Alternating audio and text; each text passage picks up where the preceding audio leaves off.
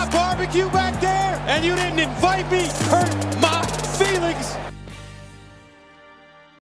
What's going on, good people? Today we are going to take a look at CeeDee Lamb, the wide receiver of the Dallas Cowboys. Anybody who watched the Oklahoma Sooners play over the past couple of years knew exactly what the Dallas Cowboys were getting in first round pick CeeDee Lamb.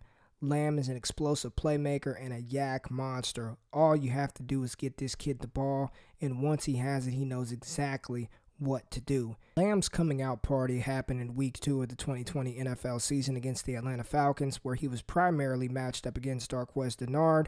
Lamb ran 80% of the snaps, had 40 routes, 9 targets, 6 receptions, and 106 receiving yards. 64 of those yards came to the air. On this first play, you're going to get a glimpse of what CeeDee Lamb knows how to do, and that's use the cornerback's leverage against him.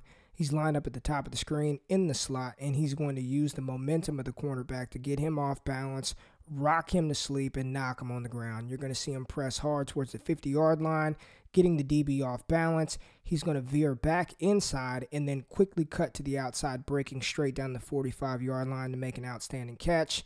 And then I love what he does after the run. You see that right there. Getting the cornerback off balance. Hard release to the inside.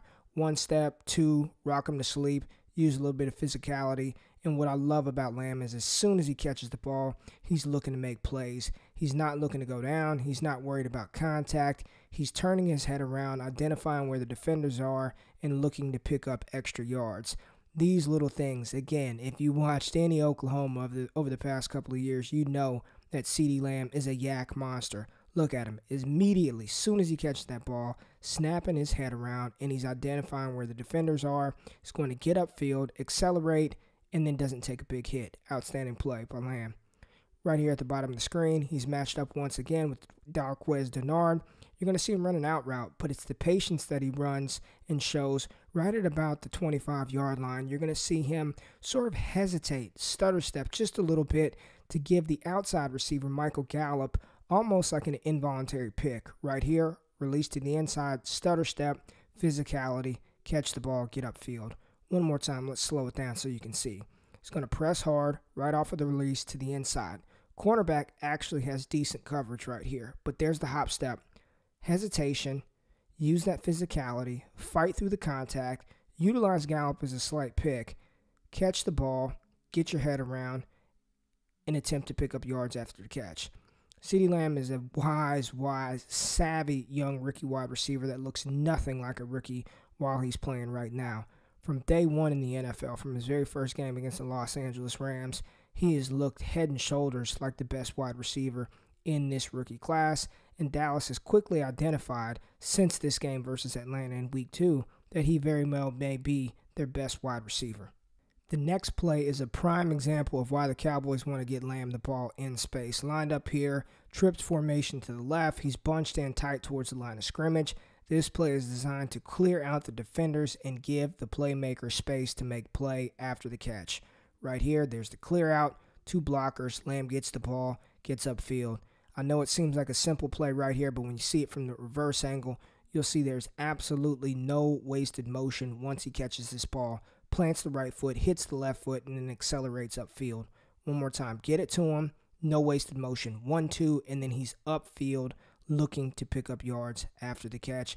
That's what he does so well. Again, if you spend any time watching Oklahoma, you know that that is a part of his game. You also know that winning on these drag routes, CeeDee Lamb is a master at that.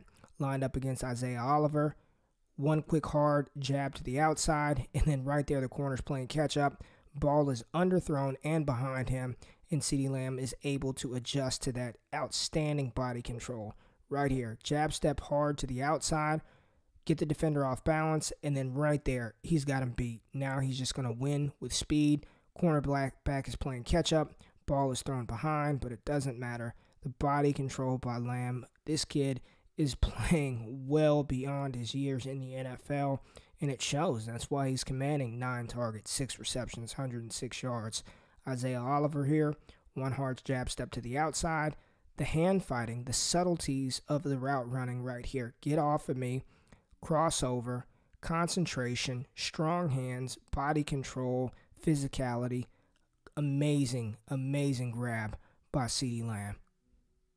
One more time release, hand fighting, body control, strong hands, catch, and a first down by Lamb. His ability to recognize zone coverage is outstanding as well. There he is in the slot, trips formation, catching the ball, and then getting upfield again. He's just a savvy, savvy player. This offense fits him so well in this week two game was his coming out party.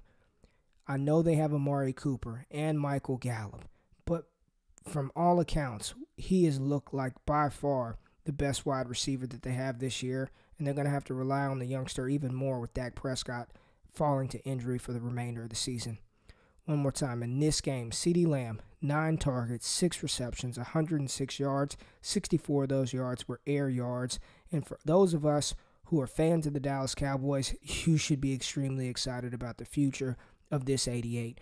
Those of us who participate in fantasy football leagues, you should be excited about the future of 88. I know it's only a couple of games into the season, but he looks like a more refined, a more polished, and a more versatile receiver than the number 88 that wore that jersey before Lamb. If you enjoyed this video, please thumbs up, like it, subscribe to the channel, and share the word with others. I appreciate you joining me. We'll be back again with more film breakdowns.